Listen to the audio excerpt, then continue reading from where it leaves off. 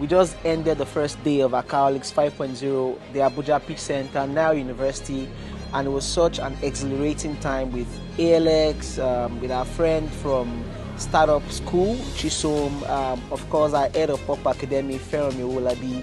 Um, it's so good to see young minds learn, collaborate, network, and just, you know, you can feel the gusto, you can feel the eagerness, right, to become better people so far this session, today's session has been really, really impactful, insightful, and I have learned a lot. Coming here, I enjoyed the session. I love the one who, which was headed by Solomon. He gave us a lot of insights and it was, it was pretty cool. My favorite part of today was um, design thinking by Miss Farami, right?